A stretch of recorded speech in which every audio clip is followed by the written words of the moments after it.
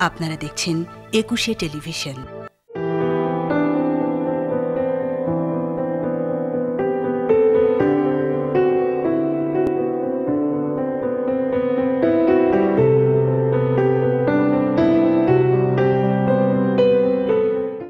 সুপ্রিয় দর্শক, আমন্ত্রণ জানাচ্ছি সিয়াম ও আপনার স্বাস্থ্যের আজকের পর্বে। দর্শক, আমরা সবাই রমজান পালনে ব্যস্ত। কিন্তু এই সময়টা কিন্তু আমরা একটা জিনিসকে উপেক্ষা করি। দাঁত এবং মুখের যত্ন নিতে অনেকেই ভুলে যাই। কিন্তু খুবই গুরুত্বপূর্ণ এই ব্যাপারটি, দাঁত এবং মুখের যত্ন এই রমজান মাসে। পুরো রমজান মাস জুড়েই সারা জীবনই নিতে হবে, সেটা তো আছ আছেই। তা আমরা এর দাঁত এবং মুখের যত্ন নিয়ে আছে কথা বলব বিশিষ্ট দন্তরোগ বিশেষজ্ঞ ডাক্তার মোহাম্মদ আজম খানের সাথে। Doctor Azam Khan consultant Banani dental clinic doctor Azam Khan অনুষ্ঠানে স্বাগত জানাচ্ছি। রমজান মোবারক। ধন্যবাদ প্রফেসর ইকবাল। এবং ইটিভি দর্শক শ্রোতাদের রমজানুল মোবারক। দাঁত এবং মুখের যত্ন আমরা দাঁতেরটাই আসি। অনেকে যেটা বললাম অনেকে হয়তো লক্ষ্য করেন না রোজা রাখছেন বিভিন্ন তসবি তালিল নামাজ পড়ছেন কিন্তু যে খুব মানে প্রধান একটা ব্যাপার যে দাঁত এবং মুখের যত্ন এটার দিকে খেয়াল করে না। কি ধরনের খেয়ালটা নেওয়া উচিত? দাঁতের কথা যদি আসি। এখন আমাদের ধর্মীয়ভাবে আমরা রোজা রাখব। এখন রোজা রাখার জন্য যে আমাদের যে সারাদিন সিয়াম সাধনা করে অভুক্ত থেকে তারপরে ইফতারি করব, আবার সেইরি করব। এর মাঝে যদি আমরা দাঁতের সঠিক যত্ন না নেই বা ঠিকমতো ব্রাশ না করি যে রোজা রাখা উপলক্ষে আমি খাবার, হয়তো সেরি খাওয়ার পরে আর ব্রাশই করলাম না, তাহলে কি হবে? এই সারাদিন যে মুখের মধ্যে যে এই যে জিনিসগুলো থেকে যাবে জীবাণুগুলো থেকে যাবে তারা কিন্তু শুধু দাঁতের না। শারীরিকভাবে সেটা পেটে যে অন্য অন্য সমস্যারও সৃষ্টি করে। এবং মজার ব্যাপার হলো কি যে আমাদের শরীরে যত রকমের রোগ জীবাণু মাধ্যমে যে অসুস্থতার তৈরি হয় তার কিন্তু one of the main root হলো আপনার এই আহ, মুখ গহ্বর। সেই এন্ট্রি হ্যাঁ। পয়েন্টই তো মুখটা। অ্যান্টিবায়োটিক যার জন্য সারা পৃথিবীব্যাপী কিন্তু ডেন্টিস্ট এটা খুব এক্সপেন্সিভ খুব এক্সপেন্সিভ হ্যাঁ আমার যেমন রোজা রাখতে হবে হ্যাঁ পাশাপাশি দাঁতের যত্নটা নিতে হবে। কীভাবে যত্নটা হ্যাঁ, সেটা হলো যে আমরা যদি সেইরি করার পরে দাঁতটা ব্রাশ করে তারপরে ঘুমিয়ে পড়ি তাহলে কিন্তু আর সারাদিন আমার কোনো ব্রাশের কোনো প্রয়োজন হলো না।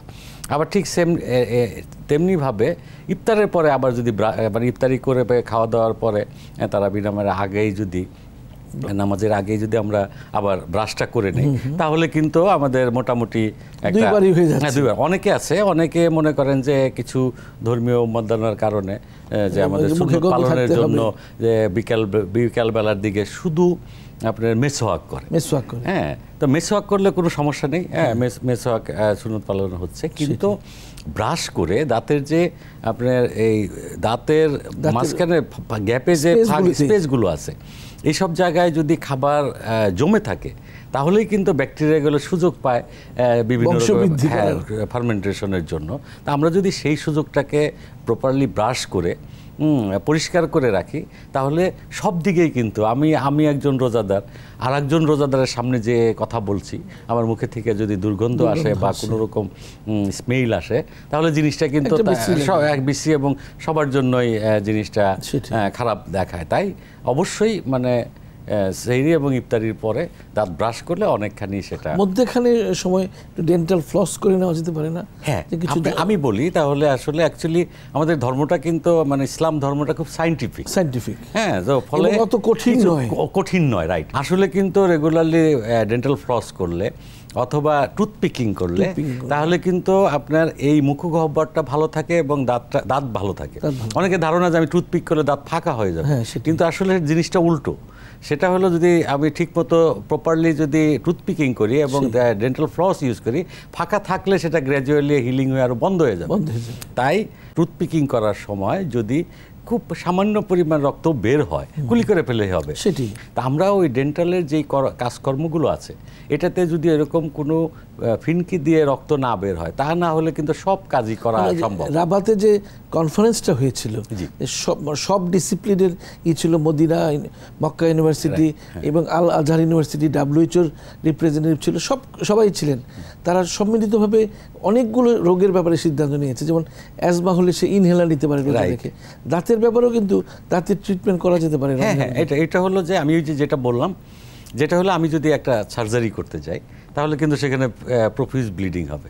সেটা কিন্তু করতে বলা হচ্ছে না। কিন্তু একটা একটা রোগীর যদি অ্যাকুইট পালপাটিস হয় হ্যাঁ সেটা হলো এই অ্যাকুইট পালপাটিসে এরকম একটা ব্যথা যন্ত্রণা যে পেইনটা এরকম পর্যায়ে যেটা হলো পুরুষের জন্য প্রথম ব্যথা মেয়েদের জন্য সেকেন্ড পেইন ফার্স্ট পেনটাকে ডেলিভারি পেন হিসাবে কাউন্ট করা হয়। সেকেন্ড পেন হল দাঁতের ব্যথা।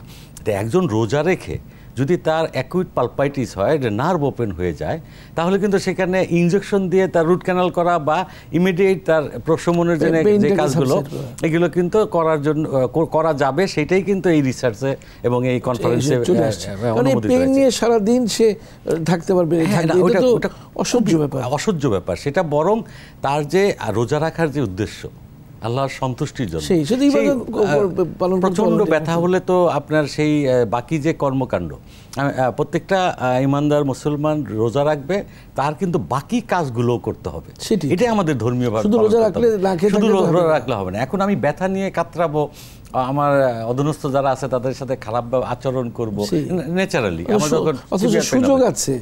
হ্যাঁ সুযোগ আছে। রাইট এরকম কেসে ইভেন এখন কিন্তু এই লাস্ট কনফারেন্সে এই ডিসিশন এসেছে যে আনুষঙ্গিক যে কাজগুলো আছে যেটা হলো মনে করেন আমাদের ডেন্টিস্ট্রিতে একটা সুবিধা আছে। সেটা হলো যে সাপোজ আমি মনে করেন দাঁত স্কেলিং করছি। এখানে অনেক পানির ইয়ে আছে আমরা সাকশন দেওয়ার পানিটা নিয়ে গেছে। কিন্তু যদি রোগী ফিল করে যে এটা আমার মনে হয় ইনহেল হয়ে যাবে এরকম একটা পরিস্থিতি সে কিন্তু উঠে থুতু ফেলতে পারে কুলি করতে পারে হ্যাঁ। সো এটাতে কোনো মানে সমস্যা না। আর স্কেলিং করার সময় যে ব্লিডিংটা হয় যে এটা রোজা হালকাও হয় না। হালকাও হয় না। হ্যাঁ, রোজা তো আল্লাহর সন্তুষ্টির জন্য রাখছে। Right. সেটা আল্লাহ আল্লাহ আমাদের জন্য তো অনেক দয়া দয়াবান। আল্লাহ হ্যাঁ। তো নিষ্ঠুর নয়। আল্লাহ তো দেখবেন যে আমার জন্য আমার বান্দা না খেয়ে রয়েছে হ্যাঁ। তার দাঁতটাকে ভালো রেখে ইবাদত মানে পেইনফুল কন্ডিশনে না থেকে ইবাদত বন্দি করতে পারলে.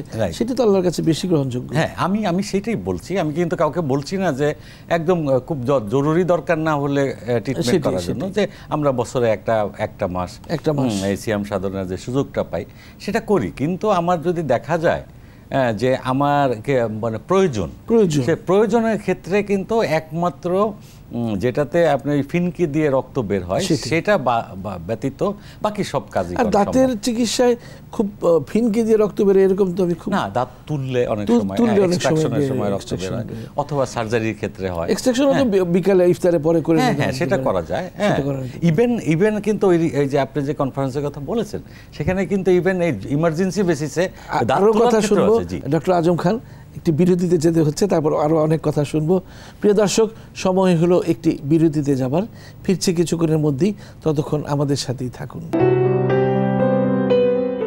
প্রিয় দর্শক, বিরতির পর আবার আপনাদের মাঝে ফিরে আসলাম সিয়াম ও আপনার স্বাস্থ্য অনুষ্ঠান নিয়ে। আমরা আজ কথা বলছি রমজান ও দাঁত ও মুখের যত্ন নিয়ে।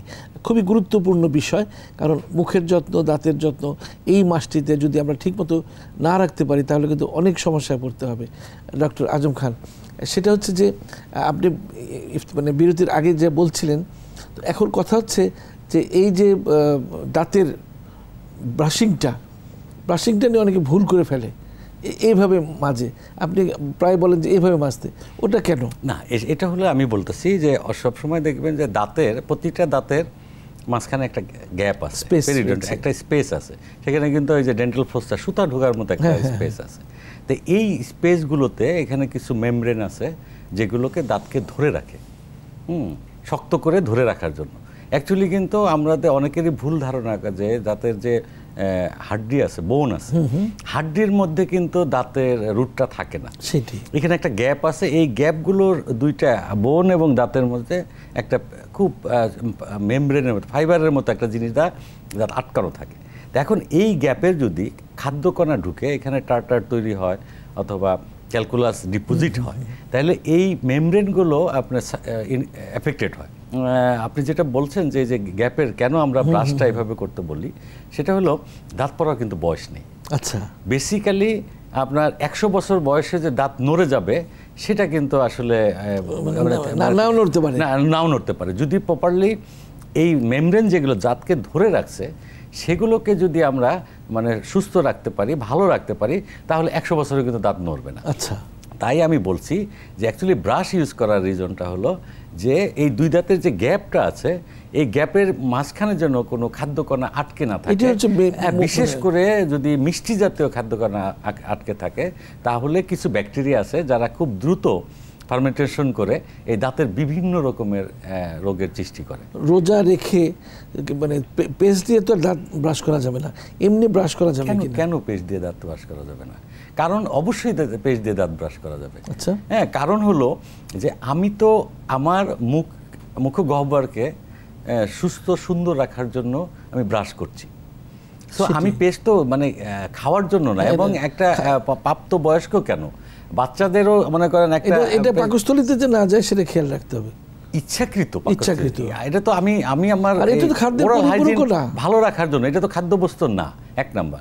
দুই নাম্বার হলো আমার ওরাল হাইজিন মেনটেন করার জন্য আমি যে এই মানে রোজা রেখে আর একজন দশজন মানুষের সামনে যে কথাবার্তা বলব এইটাকে মেনটেন করার জন্য অবশ্যই আমি পেজ দিয়ে দাঁত মারবো। আরেকটা ব্যাপার হচ্ছে যে অনেকে যে মাউথ ওয়াশ যেটা লিস্টারিন নামে পাওয়া যায় এটা ওই সেরির সময় ইউজ করেন। এটা করতে পারেন? হ্যাঁ হ্যাঁ। লিস্টারিন আপনি সেরি ইফতার না। হ্যাঁ সারাদিনে আরও অন্য টাইমেও এটা ব্যবহার করতে পারি। আচ্ছা। কারণ আমি যদি অজু করার জন্য কুলি করতে পারি হ্যাঁ তো এখন লিস্টারিন জিনিসটা বা আরও বিভিন্ন কোম্পানি অনেক কোম্পানি এখন আমাদের এখানে আসছে। আমি যদি অজু করার জন্য কুলি করতে পারি তাহলে লিস্টারিনটা হলো এটা আমার একটা মেডিসিন সাথে এটা কিন্তু পানির কম্বিনেশন একটা পানির পরিমাণটাই বেশি। আদার কিছু কিছু মিলে এটা করা হয়। তাহলে আমি সেটা দিয়ে কুলি করলে আমার তো কোনো সমস্যা হওয়ার কোনো কারণ নেই। দাঁতের যত্ন দেখলাম। অনেকে মুখের ভিতরে যত্নটার ব্যাপারে যদি ই করেন। এখন আসলে অ্যাকচুয়ালি এখন আর ডেন্টিস্ট্রিটা এই ওই আগের যেই পর্যায়টা ছিল ওটা এখন এই- এটা অনেক চেঞ্জ হয়ে চেঞ্জ গেছে। অ্যাকচুয়ালি আপনি দেখবেন যে আপনাদের এই বড় বড় সার্জারিতে এখন মানে বিশেষ করে হেড নেক সার্জারি হলে এখানে একজন ওরাল সার্জন থাকেন। কারণ হলো কি? যে মুখগহ্বরের যেই এলাকাগুলো আছে। হ্যাঁ ইভেন আপনি প্লাস্টিক সার্জারির ক্ষেত্রেও কিন্তু একজন ম্যাক্সিফেশিয়াল সার্জন থাকেন। হ্যাঁ এখন কিন্তু এরা ইনক্লুডেড বিকজ এই মুখগহ্বরের ভিতরে যেই মানে। স্ট্রাকচারালগুলো মানে আছে সেগুলোর সেগুলোর যত্নটা খুবই ইম্পর্টেন্ট শরীরের অন্য একটা অংশে আঘাতপ্রাপ্ত হলে যেই মনে করেন ওই অংশটাকে আমি সাপোজ একটা আমার হাতটা যদি ভেঙে গেল তাই আমি প্লাস্টার করে রাখলাম আমার এক মাস দুই মাস পরে প্লাস্টারটা খুললাম। হ্যাঁ তো ওইভাবে আমার সার্বক্ষণিক আপনার হাতটা ইউজ হচ্ছে না। হ্যাঁ কিন্তু মুখগহ্বর তো আমার সার্বক্ষণিক ইউজ হচ্ছে। যদি কোনোভাবে রাইলস টিউব দিয়ে একজন মানুষকে হ্যাঁ মানে কয়েকদিন খাওয়ানো হয় সে অস্থির হয়ে যায়। কারণ আমরা যেটা অভ্যস্ত চিবিয়ে খেয়ে হ্যাঁ মানে একটা নিজস্ব ওয়েতে খেয়ে অভ্যস্ত। তো এই জন্য আমাদের এই মুখগহ্বরের প্রতিটা অংশেই হ্যাঁ আমাদের যত্ন নেওয়া খুবই জরুরি। খুবই জরুরি। বাড়ির যত্নের ব্যাপারটা আসবে যে বাড়ির আলাদা করে যত্ন কোনো ই আছে কিনা? আমাদের দেশে কিন্তু এখন এই পার্ট টু পার্ট ভাগ হয়ে গেছে। আপনার মনে করেন যে এই এক একজন এক একটার উপরে স্পেশালাইজড হচ্ছে। এবং মারির শুধু মারির মানে মানে মারির জন্য। হ্যাঁ হ্যাঁ এটা আপনার পেরিডন্টোলজিস্ট এখন ডিপার্টমেন্টে আছে এটা আলাদাভাবে শিক্ষা দেওয়া হয় আলাদাভাবে এবং প্রত্যেকটা হয়। ভাগ হচ্ছে। হ্যাঁ ভাগ হচ্ছে এবং আমি একটা মজার ব্যাপার বলি আমেরিকা এবং ইউরোপকে সবচাইতে ডেন্টিস্ট্রি সবচাইতে এক্সপেন্সিভ এলাকা বলা হয় এবং ইন্টারেস্টিং ব্যাপার এই এই এলাকা আমাদের বাংলাদেশে মনে করেন যে সাপোজ আমি বলি ওরাল সার্জারি অথবা অর্থোডন্টিক হ্যাঁ আরও আরও যেই অথবা রুট ক্যানাল স্পেশালিস্ট এই বিভিন্ন যে সেকশনটা আছে হুম এই সেকশনটা আমাদের এখানে এক্সপেন্সিভ মনে হয়। কিন্তু এই ইউরোপ এবং আমেরিকাতে এই আপনি যেটা বললেন মারির যত্নের যে পেরিডন্টোলজিস্ট আছে তাদের ইনকাম হাইস্ট হ্যাঁ বিকজ এই মারি মারি যদি আপনি সুস্থ রাখতে যান যখনই মারি সুস্থ রাখতে পারবে তখনই কিন্তু অটোমেটিক্যালি অন্য দাঁতে কোনো কোথাও কোনো ক্যারিজ হয়েছে কিনা বা কোথাও কোনো মানে দাঁতের গোড়া অ্যাব্রেশন হচ্ছে কিনা আর নারীর যত্ন নিয়ে ডক্টর আজম খান আরও কথা শুনব। আরও একটি বিরতিতে যেতে হচ্ছে। প্রিয় দর্শক সময় হলো আরও একটি বিরতিতে যাবার। ফিরছি কিছুক্ষণের মধ্যেই ততক্ষণ আমাদের সাথে থাকুন। প্রিয় দর্শক, ফিরে আসলাম আবারও আপনাদের মাঝে সিয়াম ও আপনার স্বাস্থ্য নিয়ে। আমরা আজকে কথা বলছি রমজান ও মুখের যত্ন নিয়ে আমাদের আজকের অতিথি ডক্টর মোহাম্মদ আজম খান। ডক্টর আজম খান, এই মারির কথা বলছিলেন যে বিদেশে মারির চিকিৎসা খুবই এক্সপেন্সিভ হয়ে যায়। এটা না এক্সপেন্সিভ এই জন্য যে মাড়িতে অ্যাকচুয়ালি আমরা মনে করেন সাপোজ আমি বলছি যে একটা দাঁতে একটা ক্যারিজ হয়েছে। হ্যাঁ তো এইটার জন্য আপনি কনজারভেটিভ ডেন্টিস্টের একজন এক্সপার্টের কাছে একজন রোগী গেল বা দুইটা দাঁতেই হয়েছে। তো ওই দাঁতটাতে ফিলিং করে দিল। আর যখন মারির কোশ্চেন আসে তখন মারির সাথে বত্রিশটা দাঁত আসে। হ্যাঁ তো এই চিকিৎসাটা করতে হয় মারির চিকিৎসা করতে হলেই আপনার এই দাঁতের গোড়ার চিকিৎসাটা চলে আসে। এখন এই মারির যারা পেরিওডন্টোলজিস্ট যে পেরিওডন্টোলজিস্টরা যদি মানে ঠিক মতো রেগুলার স্কেলিং করে হ্যাঁ তাহলে কি হবে? আপনার এই দাঁত আর নড়বে না। আর যখন স্কেলিং করতে যাবে, এবং এই মারি যখন নাকি আপনি নেমে যাবে না দাঁতের কিন্তু কিছু পার্ট আছে। এনামেলের পরে ডেন্টিন আছে হ্যাঁ? এবং সিমেন্টাম আছে যে এই যে ডেন্টিন পার্টটা যদি মারি সরে যেয়ে, যদি ডেন্টিন পার্টটা এক্সপোজ হয়ে যায়, তখন কিন্তু ওই এলাকার সেন্সিটিভ অনেকে দেখবেন যে একটু ঠান্ডা গরম শিরশির করে।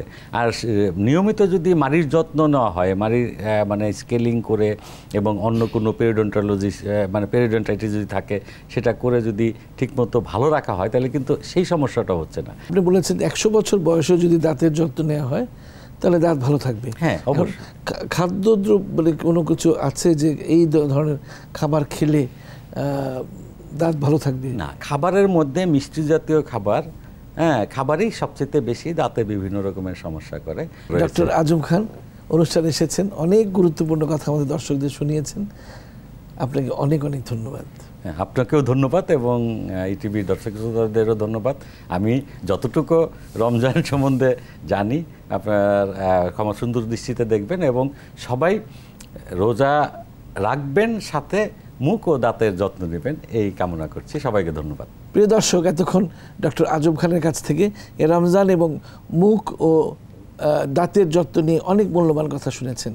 একটা কথা মনে রাখবেন যে যেসব কথা আমরা এতক্ষণ আলোচনা করলাম অত্যন্ত গুরুত্বপূর্ণ। কারণ দাঁতের যত্ন এই রোজার মাসে খুব বেশি করে নিতে হবে। কারণ অনেক সময় দেখা যায় যে দাঁতের ফাঁকে ফাঁকে অনেক মাংসর টুকরা ডুবে গেছে। হয়তো আমরা ঘুমিয়ে পড়েছি, সেরি করে আমরা মানে ফ্লসও করে নিয়ে কিছুই করিনি। এগুলোর ব্যাপারে খুব সচেতন থাকবেন। প্রিয় দর্শক, অনুষ্ঠানের একেবারে শেষ প্রান্তে এসে পৌঁছে গেছি। আপনারা ভালো থাকুন, সচেতন থাকুন, সুন্দর থাকুন। সবার জন্য রইল অনেক অনেক শুভকামনা।